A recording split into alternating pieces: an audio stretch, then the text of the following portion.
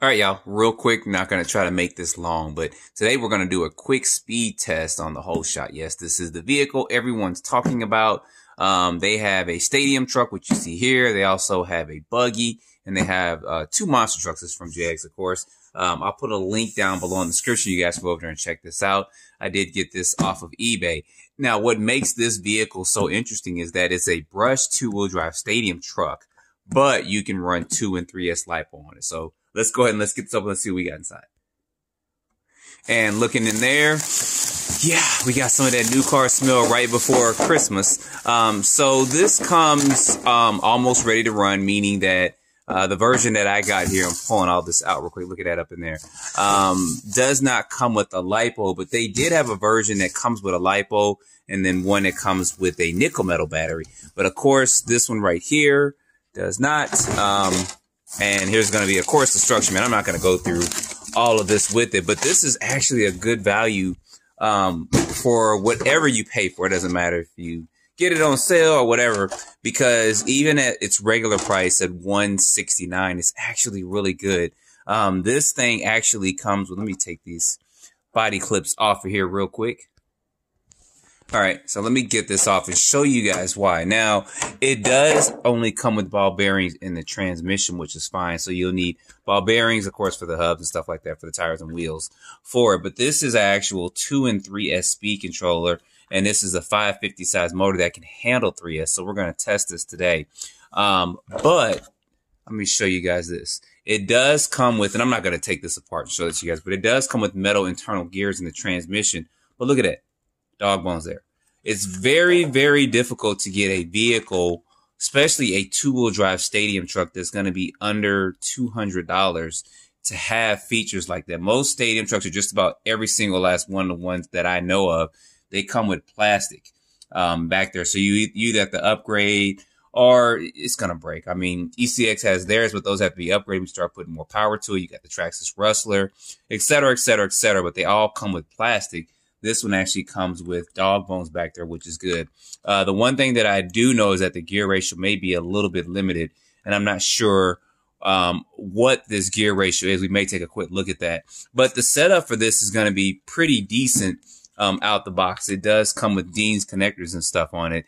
And I just want to get this out and get this running. Spike tires, these do look kind of like some of the um, HPI um, truck tires that they use on some of their HPI um, Firestorm trucks, or um, possibly even on it's another brand too um, that use something similar. But these do have foam and stuff in them. They are a pin spike, and the compound feels good just to get you out and running. So I'm glad that they uh, there's another company out there kind of reproducing something like this.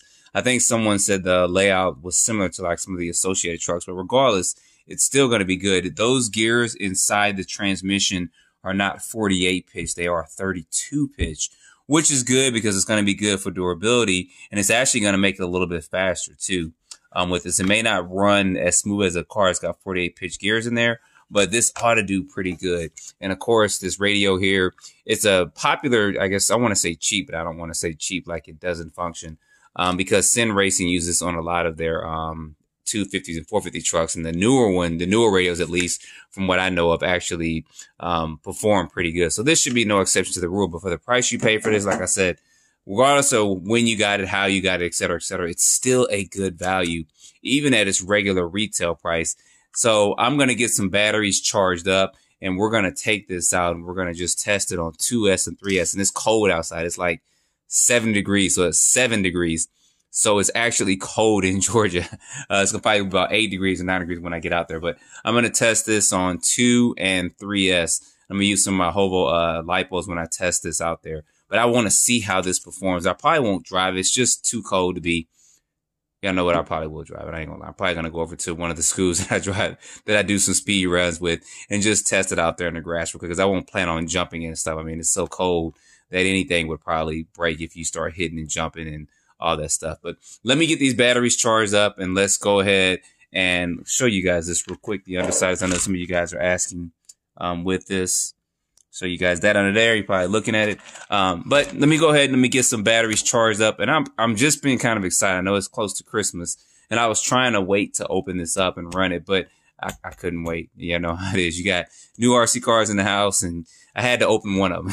so anyway, let me get uh, some batteries charged up and let's go ahead and let's take this out for a quick speed test to see what we get. All right, y'all, it is cold out here, about 25 degrees, but we're gonna go ahead and we're gonna get this going and get this tested. Make sure this is uh, catching, and it is. We're gonna test it first on 2S, and then we're gonna test it on 3S. So these ain't gonna be long tests because it's pretty cold out here.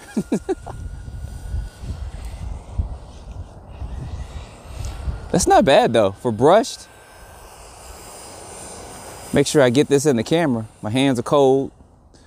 Should have put some gloves on, but I got my winterized gloves and won't even be able to grab the radio with those gloves on.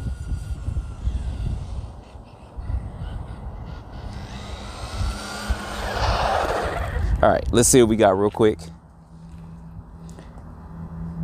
And 27 that's not bad for brushed out the box. No gear changes or anything. So let's go ahead uh, and let's put a 3s lipo in and let's see what we get. All right y'all. 3s lipo strapped in there. Did i mention that it's cold out here? Because it's cold. So we got this.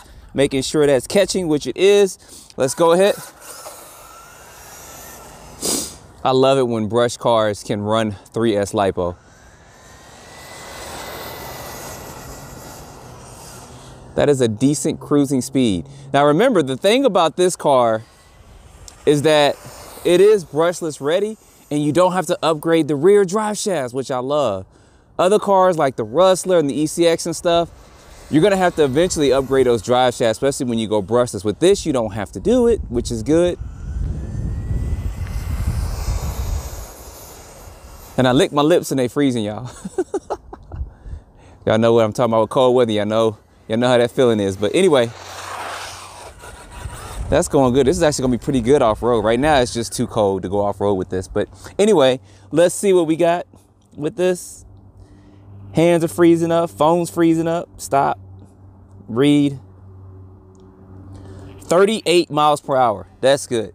From 27 to 38, 11 miles per hour. That is a good thing. No gear changes or anything. So anyway, y'all, that's going to be a run of this. Wanted to get this out, show this to you guys. I'm definitely, when the weather gets a little bit better next couple days, I'll definitely take this off-road to show you guys how this thing runs, how it handles, and some of the durability of it. So as always, like, subscribe, and stay tuned for more videos. Y'all, it is cold out here.